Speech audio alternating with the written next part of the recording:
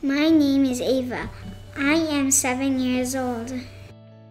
My nationality is American. Speak both Japanese and English. Today I am going to talk talk to you about my home country. Talk to you about my home country of America. America is of North America.